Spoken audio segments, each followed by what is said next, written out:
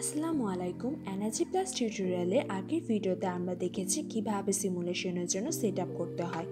এই ভিডিওতে আমরা কীভাবে সিমুলেশন রান করতে হয় এবং কীভাবে সিমুলেশন রেজাল্ট বা ডাটাগুলো অ্যানালাইসিস পাবো সেটা দেখানো হবে। প্রথমে আমরা আউটপুট ভ্যারিয়েবলসে চলে যাব। আউটপুট ভ্যারিয়েবলসে মূলত আমরা কোন কোন রেজাল্টে আউটপুট যাচ্ছি সেসব ম্যানুয়ালি সেট আপ দেওয়া যায়।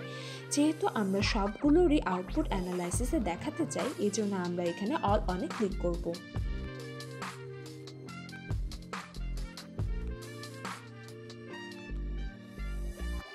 এরপর সিমুলেশন সেটিংসে এখানে ডেট রেঞ্জ দেওয়া আছে। হিটিং সাইজিং ফ্যাক্টর এবং কুলিং সাইজিং ফ্যাক্টর আমরা পেয়েছি one point two five time স্টেপে number of time steps per hour আমরা এখানে ওয়ান দিয়েছি। এরপর যদি আসি মেজার্স ট্যাবে, এখানে রিপোর্টিংয়ের আন্ডারে কিউ এ কিউসি ট্যাবটি ওপেন করলে আমরা দেখতে পাবো এখানে কিছু লাইব্রেরি ফাইল ডাউনলোড করা আছে। এই লাইব্রেরি ফাইলগুলো যদি কারও কাছে ডাউনলোড করা না থাকে, তাহলে ফাইন্ড মেজার্স অন বিসিএলে গিয়ে লাইব্রেরি ফাইলগুলো ডাউনলোড করে নেওয়া যাবে। এর জন্য রিপোর্টিং ট্যাবে গেলে এখানে অনেকগুলো মেজার্স দেখতে পাবো। এখান থেকে এনার্জি প্লাস এবং ওপেন স্টুডিওর জন্য অ্যাড আউটপুট ডায়াগনস্টিক্স ডাউনলোড করে নেব।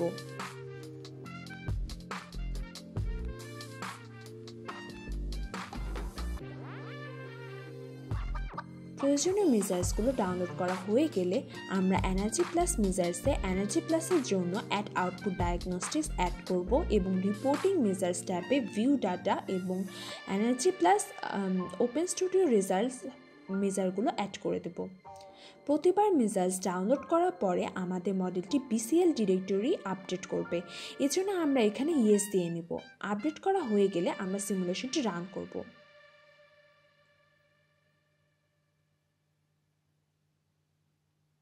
রান সিমুলেশনে গিয়ে রানে ক্লিক করব।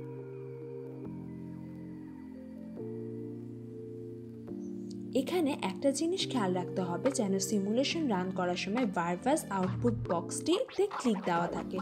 এই তাহলে আমরা আমাদের ডাটাগুলোর চার্ট বা টেবিলের মাধ্যমে আউটপুট পাবো।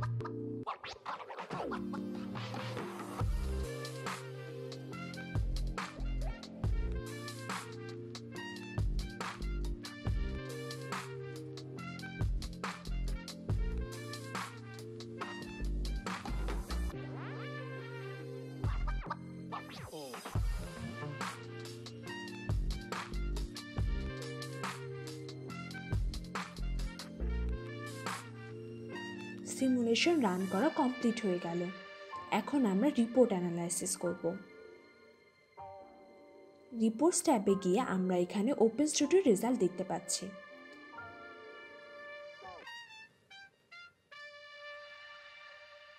রিপোর্টস থেকে আমরা এনার্জি প্লাস রেজাল্ট অথবা ওপেন স্টুডিও রেজাল্ট দুটোই দেখতে পাবো। এনার্জি প্লাস রেজাল্টে গেলে আমরা আউটপুটগুলো টেবিল আকারে দেখতে পাবো। আবার আমরা যদি ওপেন স্টুডিও রেজাল্টসে যাই, তাহলে এখানে আমরা আমাদের ইনফরমেশনগুলো গ্রাফিক্যাল আপডেট পাবো। যেমন এখানে ওয়েদার সামারিতে দেখা যাচ্ছে, আমরা ঈশ্বরদীর ওয়েদার ফাইল ব্যবহার করেছিলাম এবং আমাদের অ্যাশরে ক্লাইমেটিক জোন ছিল টু এ এরপর আমরা sizing period of design days দেখতে পাচ্ছি। আমাদের ডিজাইন ডেসে কলকাতার ফাইল অ্যাড করেছিলাম। কারণ কলকাতা আমাদের ওয়েদারের সাথে সামঞ্জস্যপূর্ণ এবং একই সাথে এখানে প্রয়োজনীয় সব ইনফরমেশনও রয়েছে। এখানে আমরা হিউমিডিটি ট্যাবে হিউমিডিটি ভ্যালু এবং হচ্ছে ডিফারেন্ট ওয়েদার জোনের জন্য আমরা হচ্ছে উইন্ড স্পিড এবং হচ্ছে উইন্ড ডিরেকশন দেখতে পাচ্ছি।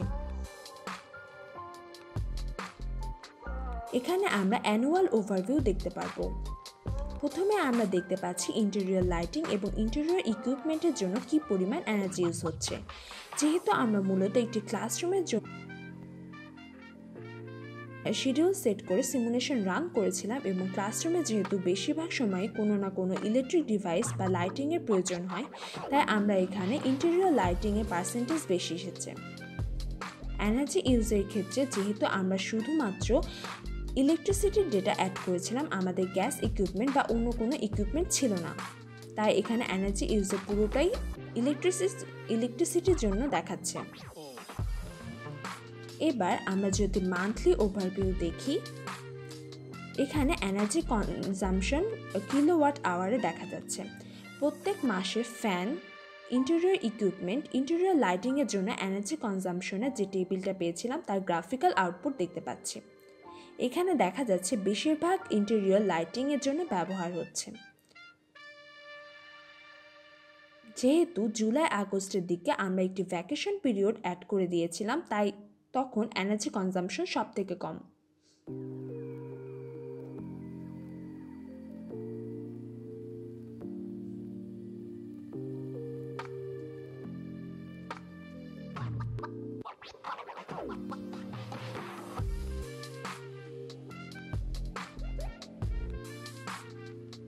আমরা এখানে উইন্ডো ওয়াল রেশিও দেখতে পাচ্ছি। বিল্ডিংয়ের নর্থ, সাউথ, ইস্ট, ওয়েস্ট, ওয়েস্টের জন্য উইন্ডো টু ওয়াল রেশিও দেখা যাচ্ছে।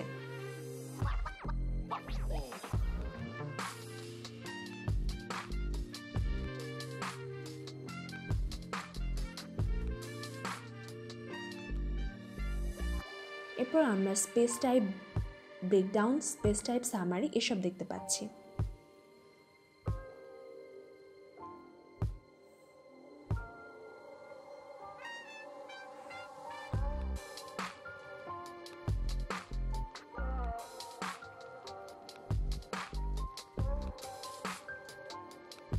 এরপর ইন্টেরিয়র লাইটিং সামারিতে আমরা দেখতে পাচ্ছি থার্মাল জোন ওয়ান অর্থাৎ ক্লাসরুমের জন্য lighting power density total power annual consumption এবং পার উইক অ্যাকচুয়াল লোড কেমন হবে তা দেখা যাচ্ছে। এখানে জোন কন্ডিশনে থার্মাল জোন ওয়ান এবং টু এর জন্য টেম্পারেচার রেঞ্জগুলো দেখানো হয়েছে।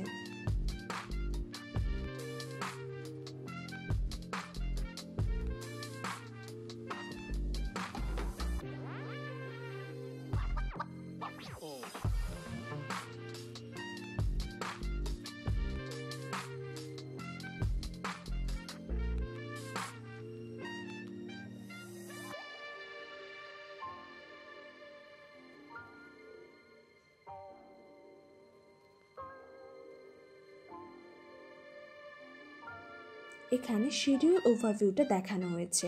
Summer design day winter design ডেতে কী পরিমাণ ব্যবহার করা হয়েছে, আমরা এখানে এর অনেকগুলোই চার্ট দেখতে পাচ্ছি।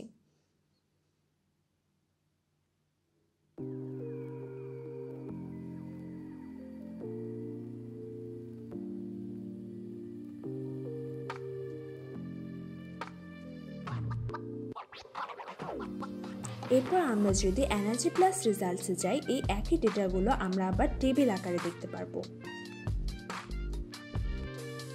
এখানে আমরা প্রথমে টেবিল অফ কন্টেন্টসে ক্লিক করলে আমাদের ডাটাগুলো ইন্ডেক্স আকারে পেয়ে যাব। এখান থেকে আমরা যে ডাটা দেখতে চাই, সেখানে ক্লিক করলে আমরা সেটা দেখতে পারব। যেমন ক্লাইমেটিক ডাটা সামারিতে গেলে আমরা ডিজাইন ডেসে টেবিল দেখতে পারব।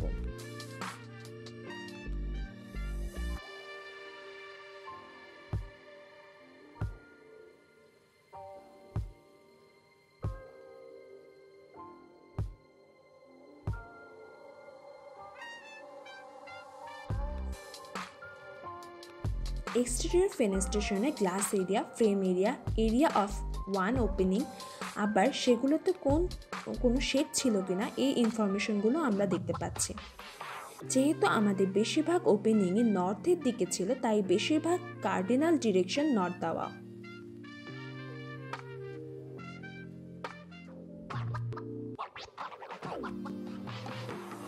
এভাবে আমরা ওপেন স্টুডিওতে সিমুলেশন রেজাল্ট অ্যানালাইসিস করতে পারি। Thank you